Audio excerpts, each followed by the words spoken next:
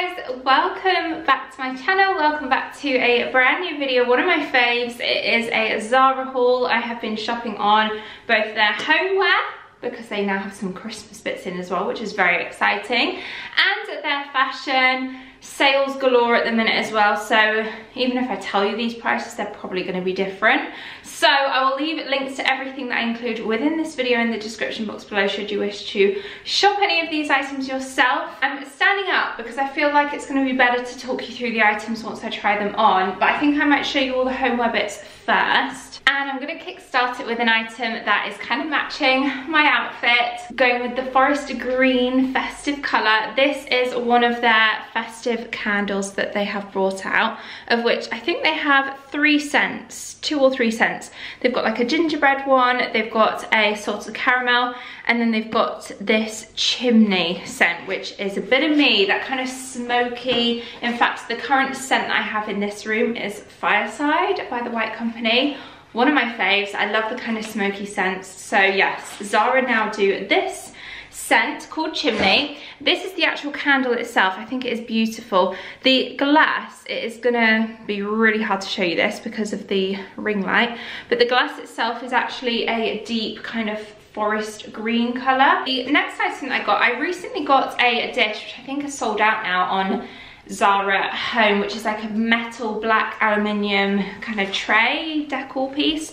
This also is a tray in that same material and it came in three different sizes. This is the smallest. I feel like these sort of trays make a great addition on a windowsill or somewhere where you're putting a reed diffuser on it, but you just kind of want it to look in place and less cluttered by popping a reed diffuser or a candle or something like that that you've got on display on a tray, I think really makes a difference. It is kind of distressed, a little bit textured, obviously metal. It's the exact same material as that other one that I've got. And then the next item that I have, again, sticking with the home fragrance, is one of their reed diffusers. This is boxed up beautifully and you can't undo it to show you what it looks like without ruining the wrapper. I'm keeping this as a gift for someone, so I'm gonna keep it sealed up, but I'll pop an image on screen of what it looks like from the actual Zara website so you can see the bottle. It looks beautiful. This one I think sounds lovely and great for winter. It's just into the woods. And then I picked up a bauble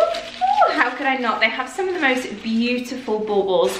Our tree is already up. You may have seen our Decorate for Christmas with me video. And if you did, you'll see that I'm going for like an antique glam kind of theme this year on our tree. So very kind of champagne, golds, brass, a little bit of silver, a little bit of glitz, but mostly kind of champagne gold. Very tempted for burgundy, possibly next year. In fact, Zara Home have some gorgeous burgundy baubles. Mm, May have to purchase some.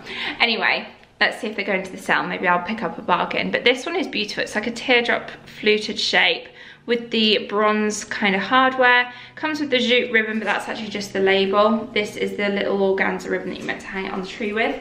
I kind of like the jute. Next up, I have a purchase that I'm not too sure about. I picked it up because online I thought it looked lovely and it's actually a maternity bag I'm obviously not pregnant, not planning on babies anytime soon. So I was getting this with the intention of it being like a nice weekend hold all. Love the kind of material that that mm, like maternity friendly fabric is beautiful like brushed cotton. The only thing it is, I thought it was just plain and simple like this but the inside has got little stars and moons on so I do feel like that makes it a little more maternity than I'd like it to be. I mean, it is lovely though. And as a, like I said, a little carry-all, hold-all bag for just a weekend away or just a night away, I think it's a really good size and it honestly feels lovely. So I'm, I'm torn on what to do with this, whether or not to keep it or send it back. And next up, I picked up some of their stationery. I absolutely love their stationery. I wish Manchester had a Zara home. We used to in the Trafford Centre. It closed down.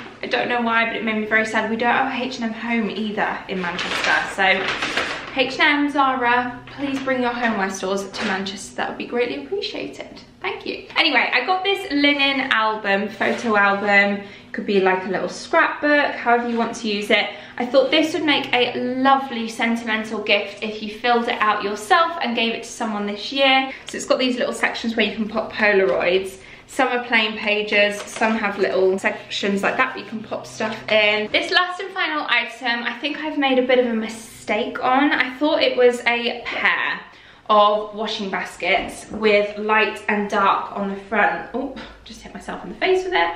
If you can see this one says darks and it's got the clips here that you can actually clip to the lights bag. So I assumed it came as a set. Now on to the Zara fashion bit. So first of all, I did pick up two pairs of boots. This first set are kind of a higher to the knee riding style boot. They don't have a zip on the inside or anything. However, I did size up to a seven in these. I always tend to size up, usually like a six and a half typically, but with boots, cozy socks, I always tend to go for a seven. These I have tried on already. They're easy enough to get on, because that's always the worry when there's no zip but they are so uncomfortable at least for me anyway personally i just on the calf, lovely, because they're a looser fit, they're nice and relaxed, they're, like I say, easy enough to get on. Love the look of them when they're on as well. However, this bit down here is so, once you put your foot in, is so kind of stiff that you either have to walk them in lots, I don't have the patience for that, which is a real shame because I do love the look of these. I love how simple they are. There's no like hardware or anything, just plain and simple black. Love the little tab at the top as well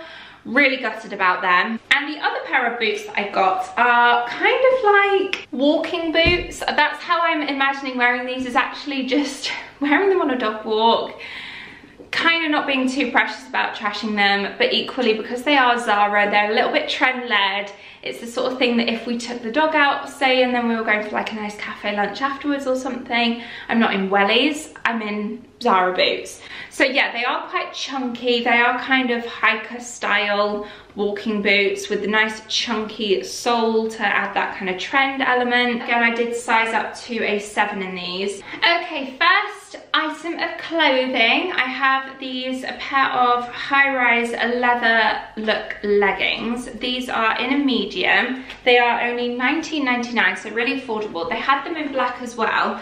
And these sort of things are hit and miss with Zara. I've tried so many of these in the past and they're not fit properly that I'm keeping my fingers crossed with these ones. I'm going to try them on with this shirt. This is kind of for a little bit more of a dressier occasion, still comfortable, good for in winter and party season.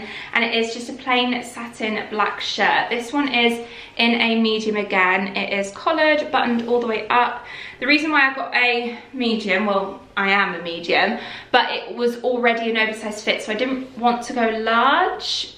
However, I don't think large would have been a problem, to be honest, looking at this. But I do like the fact that it's slightly longer, so if you wore it with leather leggings, like those leggings that I'm about to try on, your bum is still a little bit covered. So anyway, let's try this one on first. Okay, let's talk the leggings first. I feel at this point I'm just ready to give up on Zara leggings. It's annoying though because I've had in the past and I've still got them from years ago a pair of black leather trousers, front leather look, trousers from Zara that fit amazing, that are so comfortable, so much give, but yet these are just, just a really poor fit. They're not high-waisted enough, first and foremost. That seam across the thigh is a bit tight and restrictive for me. I feel very uncomfortable in them. I feel really restrictive and I feel like as a size 10 to 12, I shouldn't be wearing a large. That's just my opinion. But anyway, um, you guys know what I'm like shopping for sizes. I don't really care about the label. I just go with the fit. So yeah, I would size up to a large in these and exchange them, but then I don't think they're going to fit around the waist. They're not going to be high-waisted enough. They're going to be uncomfortable still, so forget them. These are going back. As for the shirt, this satin shirt is perfect um, for just doing like a little half tuck into some trousers, maybe some black jeans as well, or just kind of buttoning it up, wearing it a little bit off shoulder, wearing it a bit more evening, rolling out the sleeves if you wanted to for a bit more kind of relaxed fit. I do love the length of this. I think a medium is absolutely fine though, so I wouldn't size up for a more oversized fit. I'd say it's already an oversized fit. This is definitely staying. And speaking of shirts, I'm going to show you two more shirts that I have also picked up. In fact, before I show you the shirts, I'm going to show you this blazer because Zara blazers are my absolute favourite. I have some amazing staples. All of my classic blazers, the ones that have stood the test of time, the ones that I've had for years, are my Zara ones. Others have come and gone, Zara have stayed. So I decided to invest in yet another um, Zara blazer, this time in this beautiful olive green, which I'm loving at the minute. Greens I'm just obsessed with. I feel like they're a good colour to wear, not just for autumn and winter, but also for spring. So, and then obviously summer, you're never really gonna wear ultra blazer that often, but um, this one is slightly different to my others that I have. Just excuse how I start this because I wouldn't wear it with this shirt. But um, this, I like to wear these kind of blazers dressed down a little bit with a t-shirt, high neck crew, crew neck t-shirt underneath and maybe some leather trousers or even just leggings or jeans um, and heels for a slightly dresser outfit more than likely trainers. Nice and simple, very structured, which is what I love. I think that's what makes it feel a lot more expensive. In fact, the one thing I would say about this is that it's quite a bit cheaper than my other blazers that I picked up from Zara, even though it feels the same quality and same fit. My others were about 79.99. This one I think was about 50 quid. 50, yeah, 49.99. I did opt for a medium in this. Again, these are slightly an oversized fit already, so I'd just say stay true to size with this one. Yeah, the other two shirts I picked up, again, I've gone for one in this kind of green color. I'd say it's like a grey green, charcoal green, and then a black. And these are more of a brushed cotton, really weightier, super soft as well feel to these. And again, they're a similar fit to this satin one where they're a bit longer, so I could wear these dressed down and nice and comfy and casual with leggings which is probably how I will wear them. Or you could dress them up with a little skirt maybe and do a half tuck. I did get different sizes, a medium in that one and a large in this one, so we'll see how they compare. Okay, starting with the black shirt in the medium, I definitely feel like a medium is fine, but I also think a large will be somewhat better. Maybe I mean, I'm keeping both. I already know I'm going to keep both and I'll just keep them in the sizes they're in. But I definitely between the two, we'll probably go for a large. So yeah, longer line, I've just put my Lululemon leggings back on. Honestly, I'm gonna leave these linked because they are the comfiest leggings I own. I'm getting quite a collection. They are expensive, well worth the money. I mean, I'm a saver, I'm a bargain hunter, but when it comes to these Lululemon leggings, I'm a complete convert and I honestly can't see myself ever loving a pair of leggings the way I love these. So I have a collection of colours. These are like the forest green colour. You might be able to tell on camera. They're just very, very dark green. They almost are verging on black. And this is exactly what I mean by just being able to wear leggings with them, being comfy, but it's a shirt, so it's a little dressier. You could roll up the sleeves. I quite like the sleeves rolled up actually. Right, let's try on the green for comparison. Okay, this is the green one. I actually feel like it's quite a nice fit with the green forest green leggings from Lululemon. I do feel like this material in comparison to the satin will need a bit of hanging out to loosen out the uh, creases. Um, I was gonna say wrinkles then. Gosh, wrinkles on the brain. Nearly 30, that's what I'm thinking about now. Just, it needs a bit of steam, a bit of an iron. But apart from that, I just love the fit of it. I love how it just falls really nicely. I'm really, really loving this one. Big fan. Now I have a couple of knitwear items to share with you. So let me show you the first one. This one is in an extra large. Definitely doesn't look like an extra large to me, but anyway. This is a fuzzy, kind of cozy, high neck woolen jumper.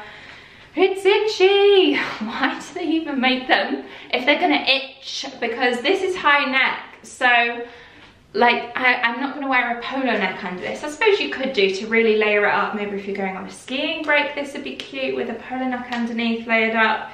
I'm just not that person. I, I don't like restrictive things around my neck. So I'm all right with a high neck and I really like the look of that. But not if it's going to be itchy. But I'll try it on for you anyway if you are the sort of person that can just deal with that kind of stuff. Okay, one thing this jumper has made me realise is that I'm probably in need of shorter jumpers a lot of my jumpers are a lot longer And sometimes when it's all oversized, it's all very like material. I mean, it's not the most flattering, it's very comfy. But it would be nice to switch up and maybe just have, you know, slightly tucked in, higher jumper with some jeans maybe, or even a skirt. You know, like if you've got a nice high-waisted satin skirt, I feel like these jumpers look really nice tucked in and even styled up in winter with some boots and leggings. Not leggings, tights, sorry, boots and tights. I'm gonna have to get this off. It's honestly itching me so much, which is a real shame because I do love this color as well. So this other one that I've got is definitely a bit softer. It's not the softest. I still feel like I'd put a t-shirt or something underneath it, but it's nowhere near itchy like this. Honestly, this is just, oh. Uh, okay, so this is in a large. I got this one in. A typical grey that reminds me of school days. I don't know why, but this sort of a grey just makes me think of school. But anyway, let's try it on. So this is what the grey jumper looks like. A really lovely fit in a large for me. I feel like it's nice and long line on the sleeves, which I love, especially when you're wearing a jumper. You want it to be cozy.